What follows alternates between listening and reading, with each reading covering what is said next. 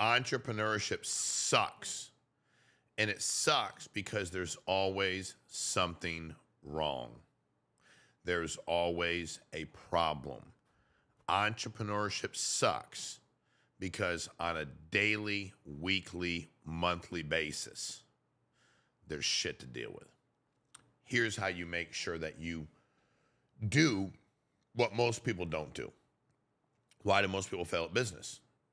They give up. Why do they give up? Because they lack intestinal fortitude. Why lack intestinal fortitude? I don't know.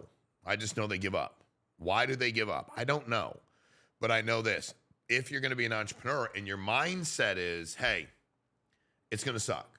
Like, I'm going to have good days because it's a grind. Have you ever thought why most people don't do it? Like, do you ever take a step back and go, listen, I'm going to try to do something? Like, what person doesn't wake up and go, I want to be an entrepreneur? Like, I get to make my own schedule. You know, again, if you do it right, I get to make good money, right? Support my family, have freedom, time and, and, and money. Time and money. I can get those two things, which just about everybody I talk to wants. So you have to ask yourself, why are most people not seeking entrepreneurship? What sucks about it? There's always a mother freaking problem. Now, me, you know, when you listen to people talk, especially about David Goggins, you'll hear him say, I deal everything head on because most people don't want to deal with shit. And I work harder to deal with it head on because it empowers other people. You're going to have problems. Inventory won't be there on time. Your accountant will will will do something and they'll project something and then it's your fault too. You run the company like, oh shit, we don't have the money for that. Oh damn, I didn't know I owed that. Oh my god, look at the tax on that oh my god, that I didn't know that was to happen to my to my my commercial property. Oh my god, I didn't know there was an extra cost that was. I I didn't realize we have to eat that inventory. Can we return it? No, we can't. God, I didn't know that. Well, oh my god, I know they're going to reduce my credit limit. I don't have. Oh my god, I thought these guys were all going to like sell and we're not moving any product. I thought the script was going to work. The bottom line is entrepreneurship sucks if you don't realize that. If you become a problem solver, if you become a problem solver, and you decide it's going to suck. I know it's going to suck. And then when people watch you, embrace that. So people always go, you always say it's going to be okay. It's always going to be fucking okay. Period. End of story. There are hundreds of thousands of people that die every day, and you're alive.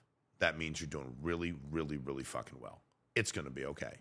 So if people are mad about that, sorry, I'm not going to apologize. It's going to be okay. I think that way about myself. I know that it's going to be okay. I know I can be great at it. I know it's going to suck at times. I know it's going to feel real bad. I know it's going to feel like I'm getting punched in the stomach. And just keep fucking eating it up. Because the more problems you can solve and the more shit that you can persevere through, the better businessman you're going to become. Because then people are watching you and going, you know what? That guy's going to make it. You don't have to be perfect, you have to be resilient. And if you can deal with that, resiliency allows you to overcome any adversity in your business.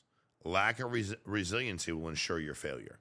So entrepreneurship sucks when you don't realize and don't embrace that there's going to be a myriad of problems. And if you don't do that and you can't accept it, then you're going to fail. If you are not resilient by nature and don't want to build up your resiliency, don't become an entrepreneur if you like to cry a lot when there's problems and like to do the whole like I can't get out of it, there's no way out of this. If you do this, there's just no way out of this. I'm never going to then don't become an entrepreneur.